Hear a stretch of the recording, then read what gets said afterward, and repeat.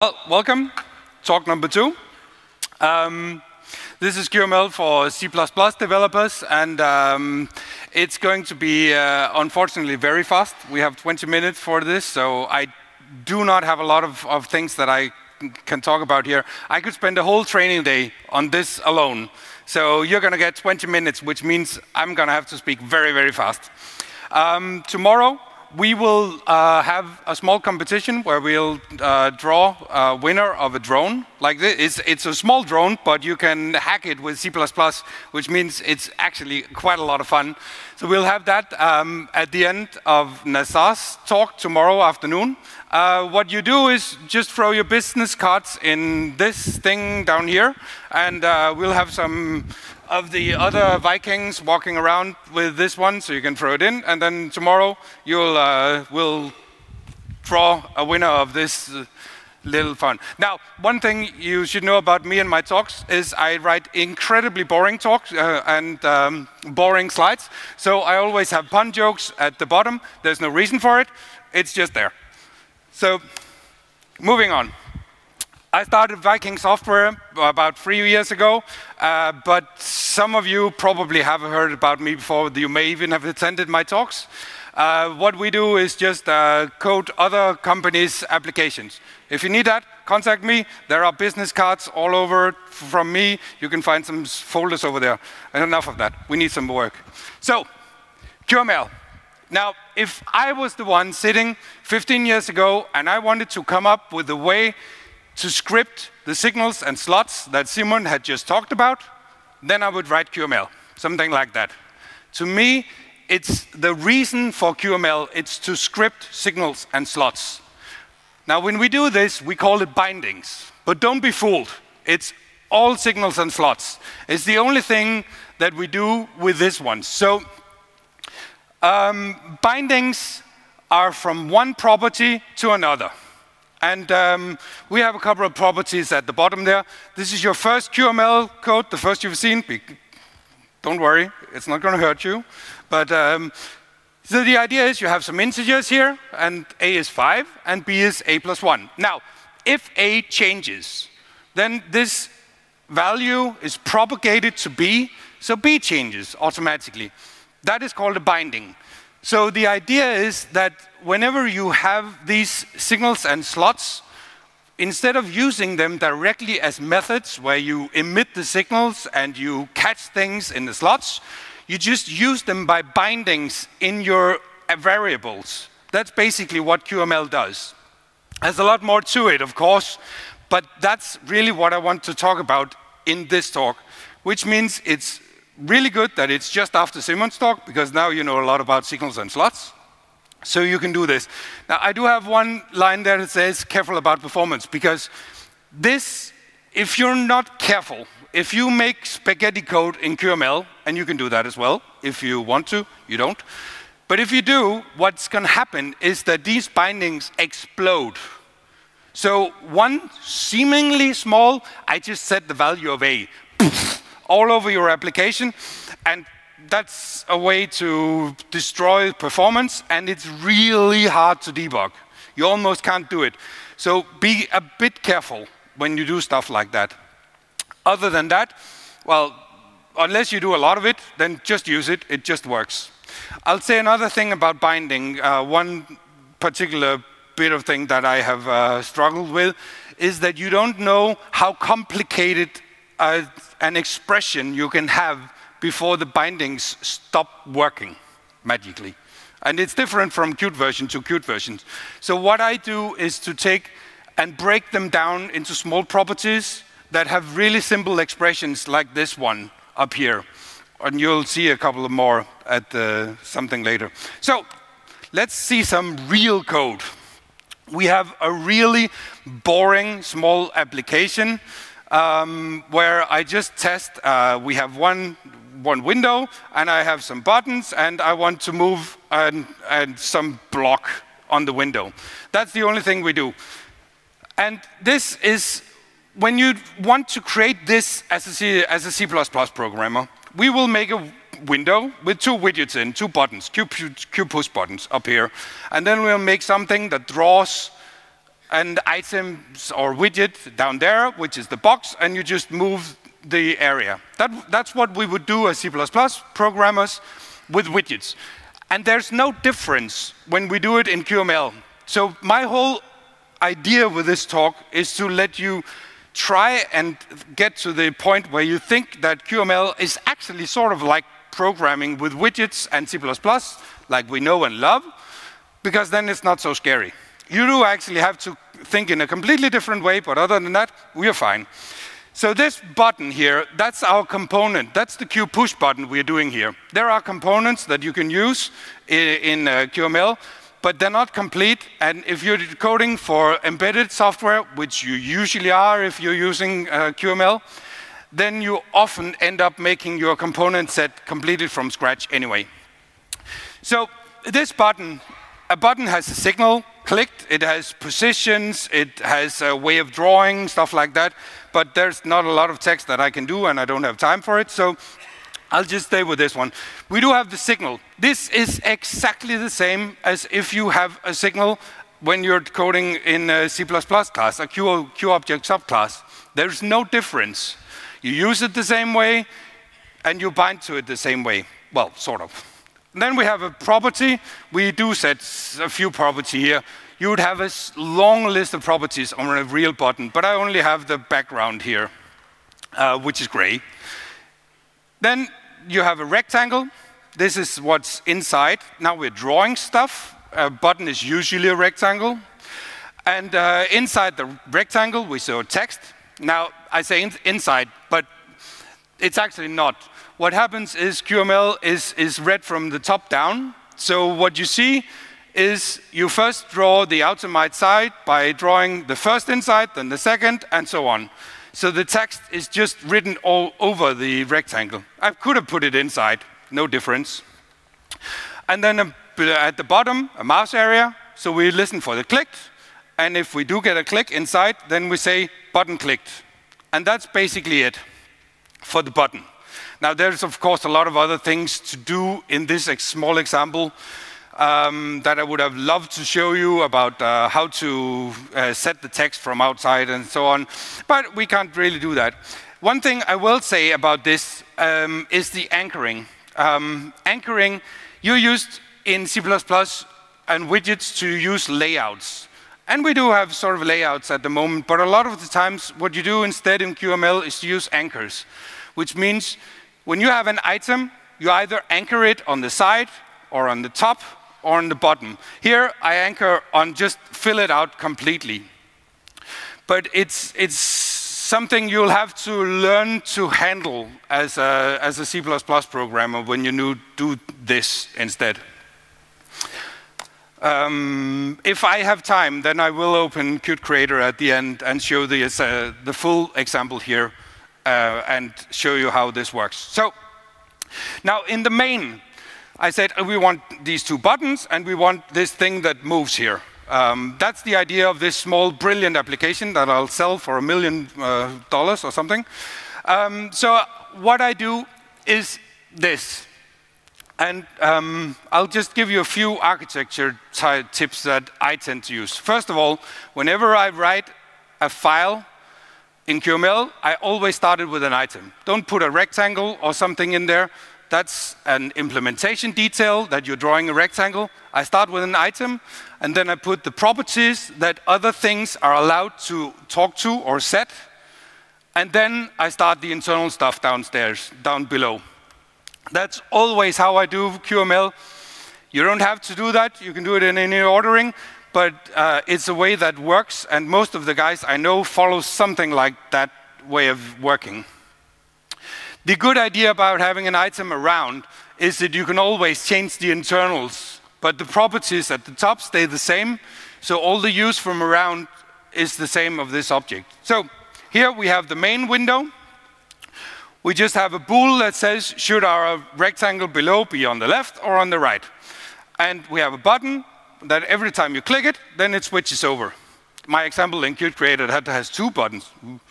And uh, then it just moves this one based on which one you click. At the low, the next line under the pro property is the button. So now we start using the, uh, the property or the, uh, the class button that we just made in a different file. And if we click on it, then flip the switch in this one. Below, a rectangle, all of these things, the width 100 and so on, that's uh, setting properties. So that was a bit of QML code. Now, let's talk about the properties, because this is really what QML code is all about. When you do properties from the Q, the C++ side, what you do is you create your Q objects, and then you do this Q underscore property declaration. You've probably seen that before.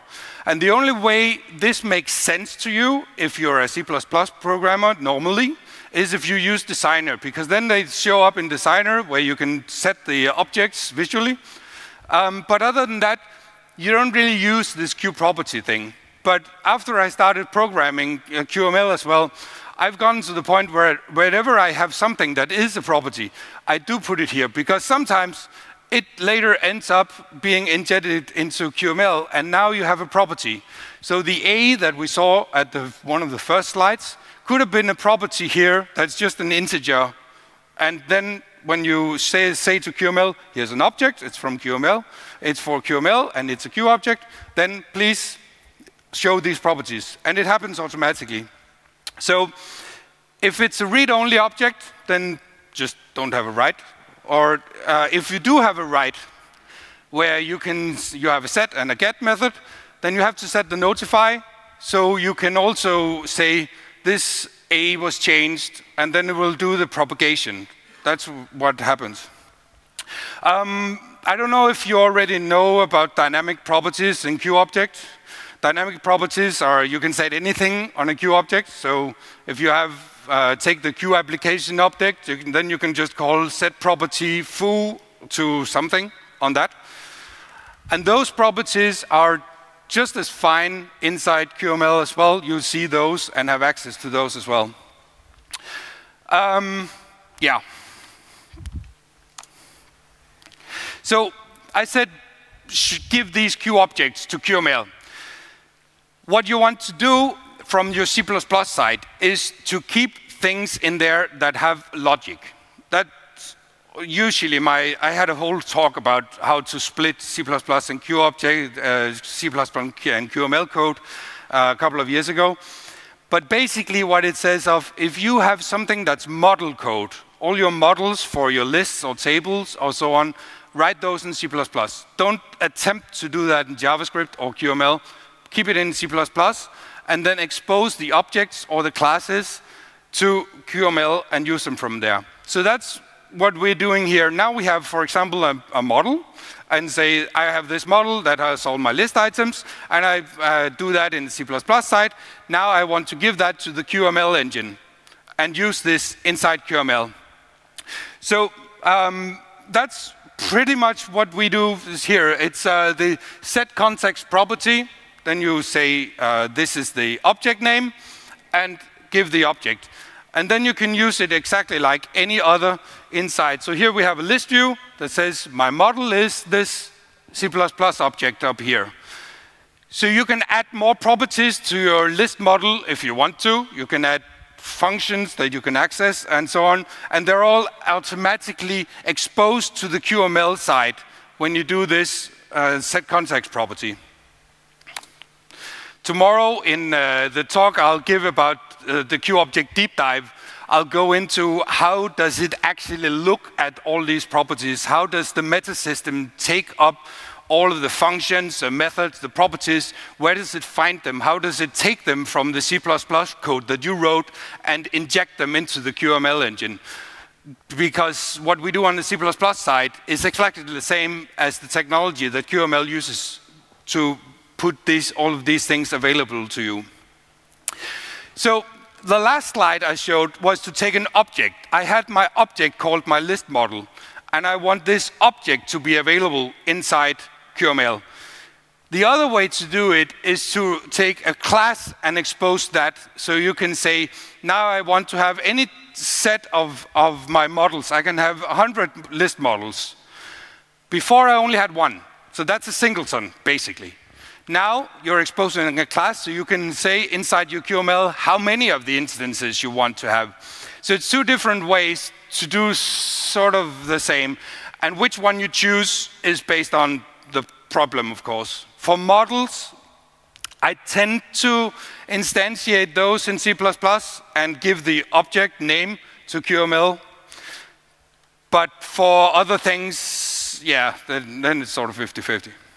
So if you want to do this, you just take any QObject subclass and say QML register type, the class, and then you say the name or the URL that it's supposed to be living in, the version, and uh, what class uh, you want it to be in.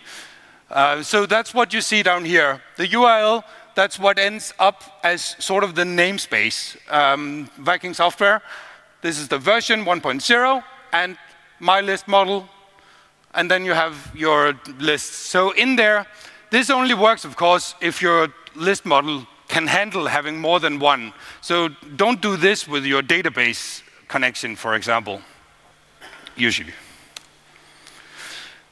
One thing we might want to do in, from the C++ side is to want to talk to the objects in the QML object tree.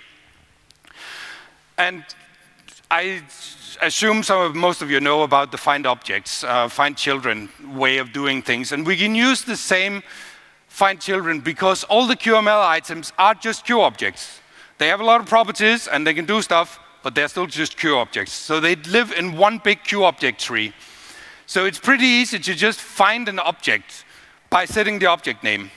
The ID, if for those of you who do know QML, the ID is not the same. The ID is different. So object name and ID, two different things. Totally different things. So Q object, get the root context, and then find a child, just a cast to Q object, because you don't need the details of what kind of object it is.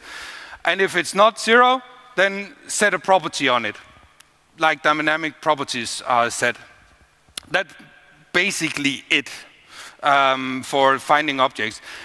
It's, it's surprising how few times you need to do this, but when you do, it's very good to know this small trick.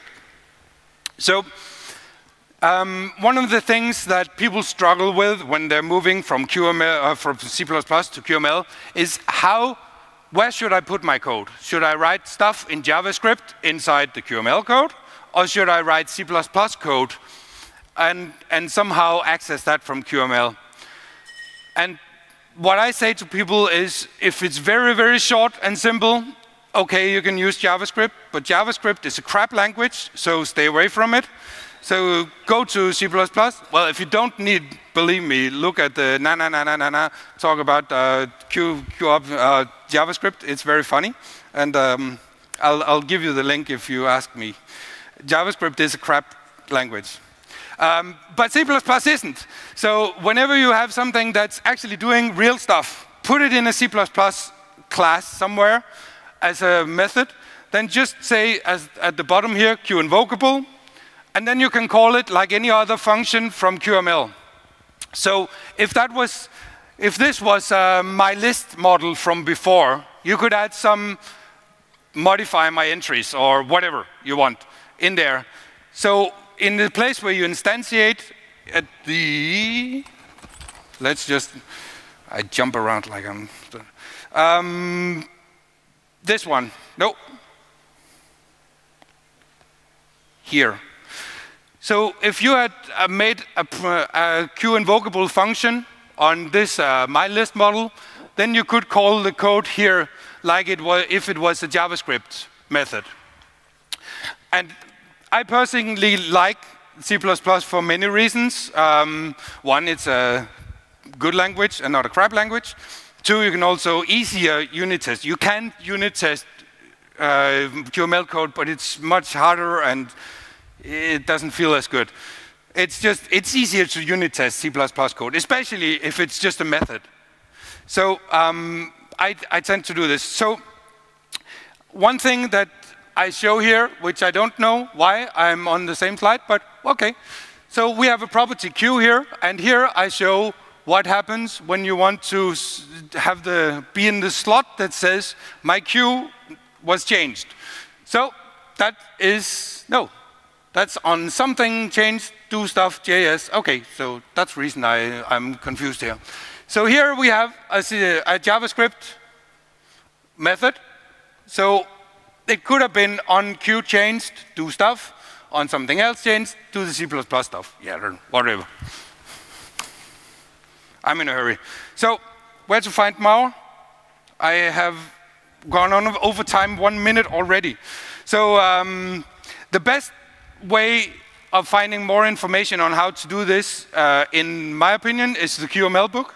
Uh, wrote, I don't know if Johan is here in the audience. No, he's here on the place. He, he was one of the co-authors of this book, and it's very, very good. And it's the best place to find more information on this topic. Or take one of my business cards, send me uh, an email, and ask me about this stuff. So, any quick questions? That's a question. Means that it's automatically JavaScript. So even if it's just one plus one, that's automatically JavaScript. Do I, if I do anything in QML, is that automatically JavaScript? Yes. If it's an expression, then it's JavaScript. If you only write stuff that says property int colon a, that's a declaration of a property. But at the, at the below, uh, in slide two or three, there it said property b colon a plus one. The b a plus one, that's a JavaScript evaluation of an expression. So yes. Next question. You said before, uh, you said before that if you're using QML, you are probably using for embedded devices. Why is that?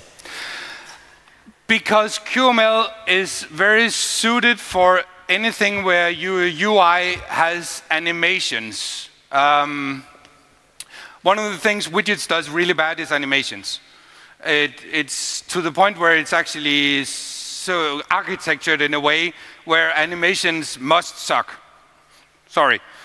So whenever you have something that moves around, for example, if you create a washing machine today, you obviously need animations or dancing pigs or something like that. Don't do widgets. And also, um, I, I, tend to see, well, QML is a great language for writing very simple UIs but it, it becomes really hard if you have very big and complicated UIs, and you tend to do that on the desktop. The third reason is that the, uh, the QML, um, the, the set of widgets like same thing that we hear, it's still a toy, unfortunately, because it's not complete. So you don't have a proper set of widgets that you can use on the desktop for QML. So what you do is you have to do your own. So if you're making a desktop game, fine. You def but I would always uh, be fine with using uh, QML. In fact, I would probably say you should 99% do it. But if you're using, if you're creating something like an Office application, then you should go for widgets because then the user expects your, your widget set to look like any other widget set that you run on your desktop. But on an embedded system, you usually describe the UI completely yourself. So that means you have no reason to look like everyone else. In fact, you probably wanted to look exactly like what you think your washing machine dancing pig should look like. So then it, it, I can't give you one reason, but I can give you 20 reasons why there is this separation. But basically, it's Office stuff, Q, Q widgets, and uh, stuff with uh, fun UIs, QML. I guess that's it. Thank you very much for listening. I hope one of you win the drone.